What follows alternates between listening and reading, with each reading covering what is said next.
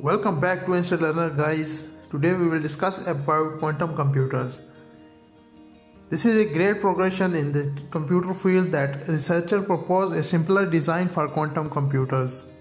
Today's quantum computers are complicated to build, difficult to scale up and require temperature colder than interstellar space to operate. The challenge has led researchers to explore the possibility of building quantum computers that work using photons.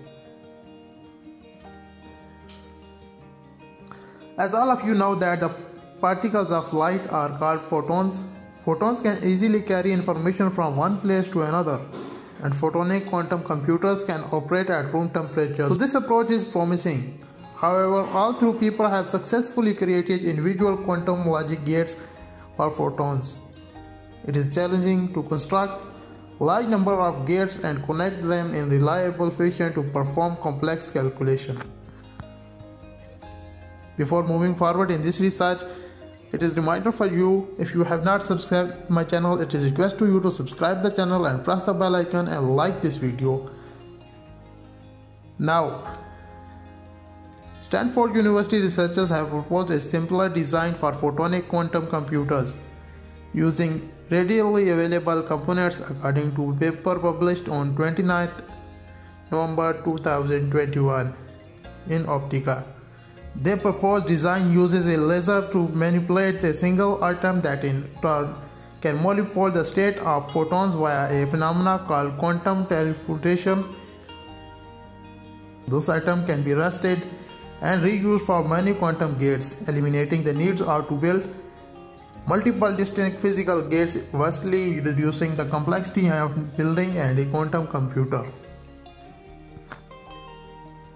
Normally, if you wanted to build this type of quantum computer, you would have to take potentially thousands of quantum emitters, make them all perfectly installable, and then integrate them into a giant photonic circuit.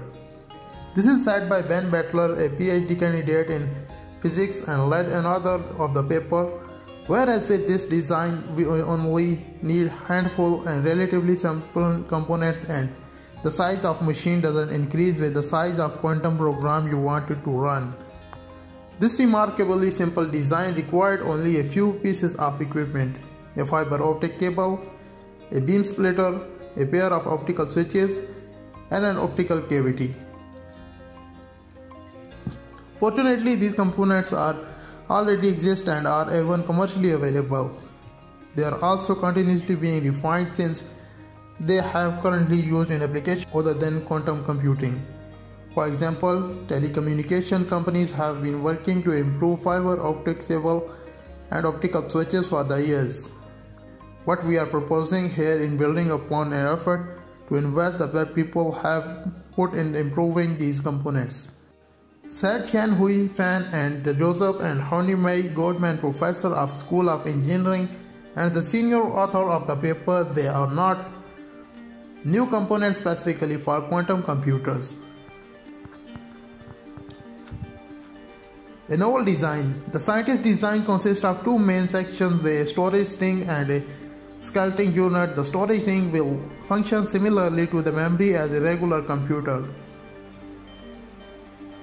That is a fiber optic loop holding multiple photons that level around the ring. Analogous to bit the store information in a classical computer in this system, each photon represents a quantum bit or qubit. The photon's direction of travel around the storage ring determines the value of the bit which like to be can 0 and 1. Additionally, because photons can simultaneously exist in two states, once one is individual photon can flow in both directions at one, which represent a value that is combination of 0 and 1 at the same time. Searchers can manipulate a photon by directing it from the storage ring into the scattering unit whereas it travels to the cavity containing a single atom. The photon then interacted with the atom causing the two become integrated a quantum phenomenon whereby two particles can influence one another across great distance.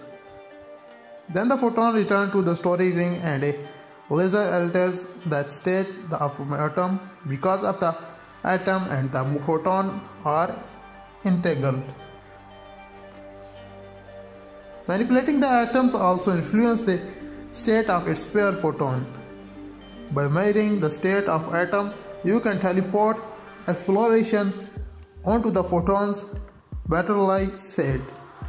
So we only needed one controllable atomic qubit and we can use it to proxy and directly manipulate all of the other photonic qubits.